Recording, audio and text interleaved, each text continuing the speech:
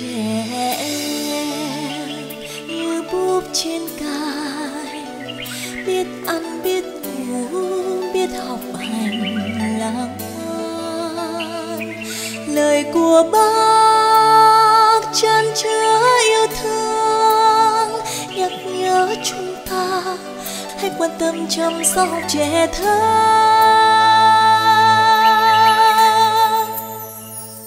trẻ em được đến trường, được vui chơi, được chăm sóc siêu dắt buồn bồi.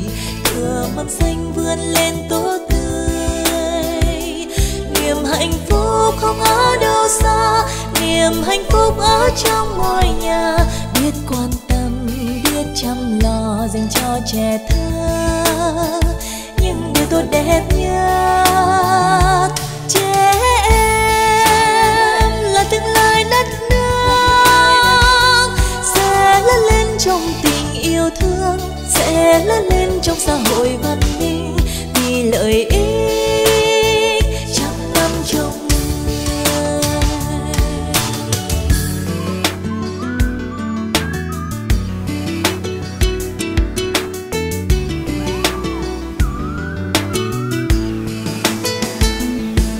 bảo vệ và chăm sóc trẻ em là trách nhiệm không của riêng ai.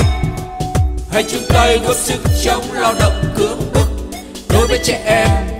Hãy cho trẻ em được học tập vui chơi, thật an toàn và lành mạnh. Vì lợi ích mười năm trong cây, vì lợi ích trăm năm trong người. Trẻ em như búp trên cành, biết biết ngủ, biết học hành là hoa.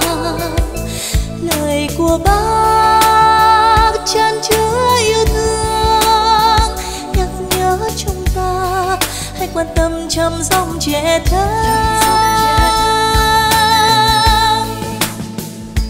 Trẻ em được đến trường, được vui chơi, được chăm sóc dìu dắt buồn bồi vừa mầm xanh vươn lên tốt tươi. Niềm hạnh phúc không ở đâu xa, niềm hạnh phúc ở trong mỗi nhà. Biết quan tâm, biết chăm lo dành cho trẻ thơ.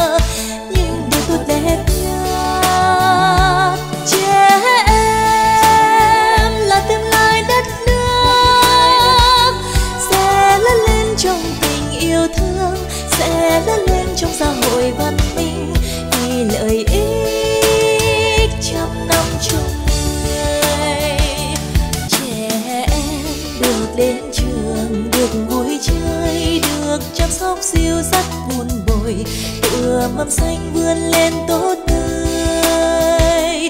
Niềm hạnh phúc không ở đâu xa, niềm hạnh phúc ở trong mỗi nhà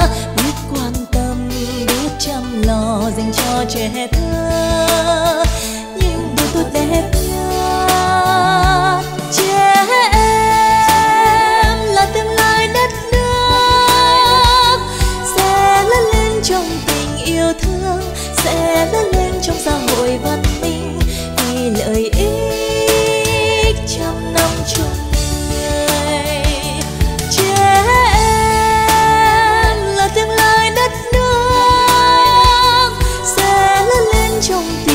Yêu thương sẽ lớn lên trong xã hội văn minh. Vì lợi ích trăm năm trong người. Vì lợi ích trăm năm chung